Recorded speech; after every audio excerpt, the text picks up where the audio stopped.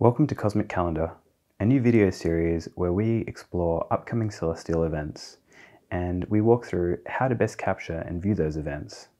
Today we'll be starting with the double Galilean moon transit of Jupiter. And this is where Europa and Ganymede, two of Jupiter's larger moons, will cross the front face of Jupiter at the same time, casting shadows behind them. So let's dive in and talk about where this is visible, when it's happening, and how to capture it. So this event will be mostly visible from the US west coast out to about Hawaii.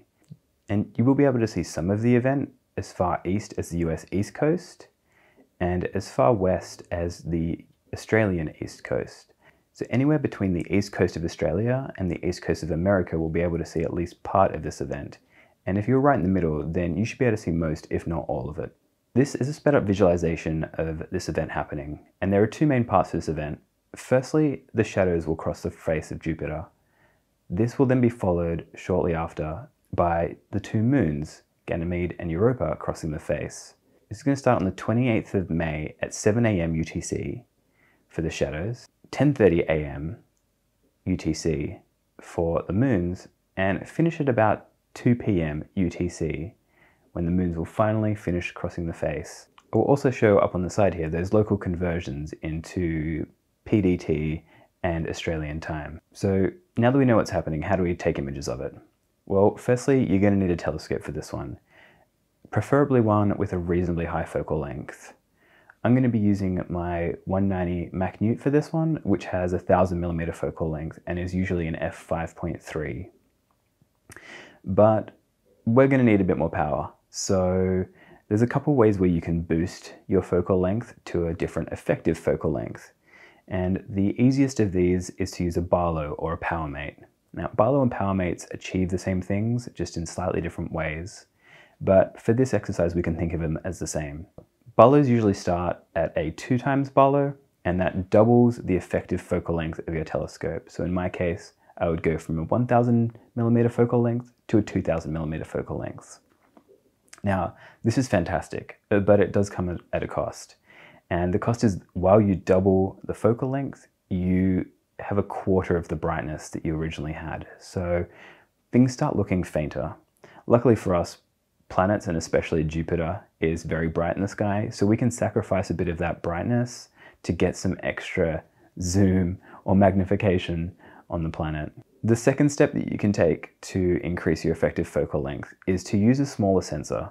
Now, if you're using a full frame sensor, then your crop factor is one. And that means if you have a 1000 millimeter focal length telescope and you put a full frame sensor on it, you get a 1000 millimeter focal length in the camera. But if you have a crop sensor or a smaller sensor, like say a micro four thirds, then your focal length will actually increase. For a crop sensor, it's usually around 1.5 times. And for a micro four thirds sensor, it's about two times. So I have a micro four thirds sensor. I usually use this one here, the ASI 294 MC Pro. And uh, so this is about a two times crop factor. And so that means if I used this one, I would have a 2000 millimeter focal length. And if I used this in conjunction with, uh, this is the TeleVue two times PowerMate. So this is a doubler, like a two times Barlow. Then these two together, I would have a 4000 millimeter focal length, which is starting to get somewhere. And you can probably see the details of this event with about 4000 millimeter focal length. But really, you want more again. Uh, in this case, more is almost always better. So instead, I will be using an even smaller sensor. This is my guide camera. This is the ASI 290mm Mini, and it has a very small sensor. It is a one third of an inch sensor.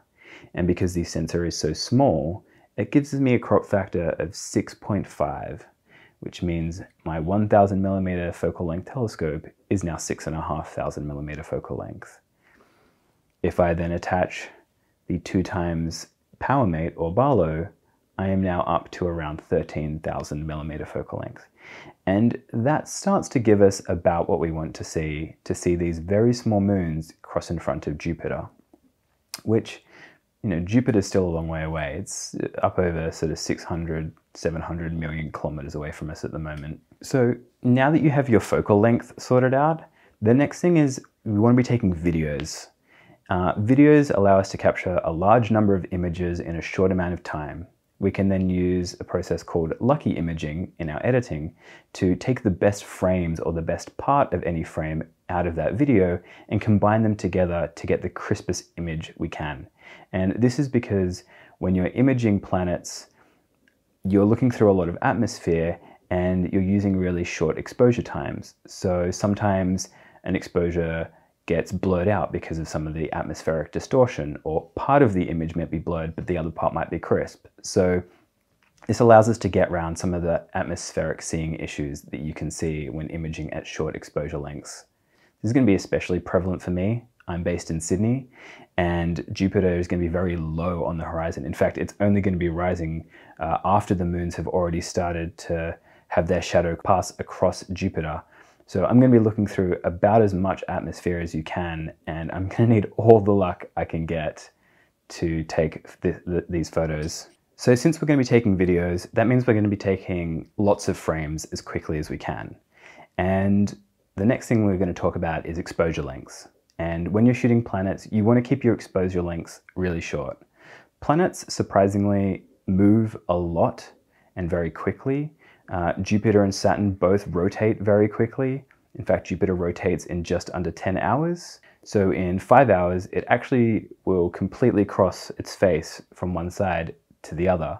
For imaging this event, I recommend keeping your exposures under 100 milliseconds, which is a tenth of a second if you're using like a DSLR uh, or some sort of mirrorless camera.